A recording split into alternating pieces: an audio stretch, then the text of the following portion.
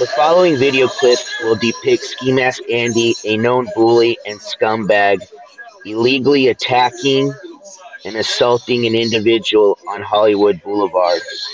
Please note that Ski Mask Andy stands back as he allows another individual to beat up this person and then comes behind the individual and sucker punches him. This man never fought this person face to face. Ski Mask Andy has never fought anybody face to face. He's nothing but a little con artist pussy, a woman beater, and a scumbag.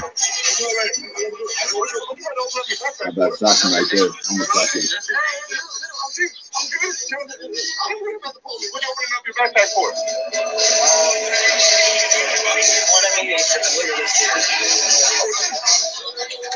Deliver that back to her, nigga. Deliver that back to her, nigga. Run. Nah, he got feet. Nah, but you don't want nothing. He mess with little girls, homie. He mess with little girls. You don't like that shit. You don't like that shit. You don't like that shit, homie. I pay you a dub. Hit that nigga for me.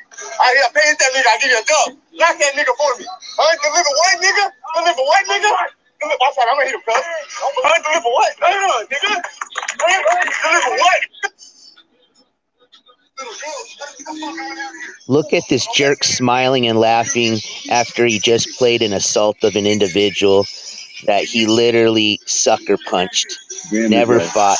Oh, and Ski Mask isn't racist. Did you hear all the N words he threw out?